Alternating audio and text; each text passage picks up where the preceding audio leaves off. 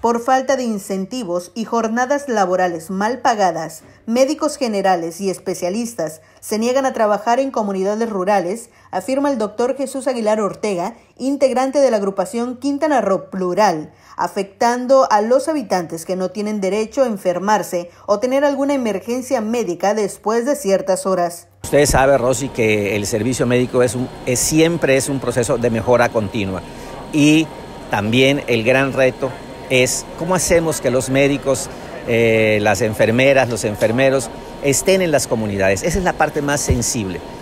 Platicaba todavía hace unos días con unos médicos y decían, y me parece que tienen razón, decía el ginecólogo, ¿y qué estímulo puedo tener yo para irme a José María Morelos?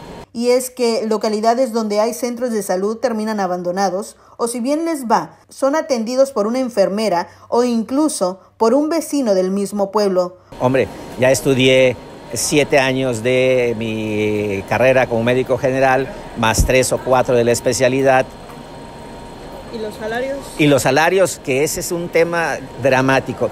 Miren, hay médicos que ganan 8, 9 mil pesos al mes al mes y, pueden ustedes checarlo. Claro, también hay otros que ganan muchísimo más, pero eh, me parece que ganar 8 o 9 mil pesos al mes un médico que está asume una responsabilidad no es un buen salario. Por eso deciden irse del Estado.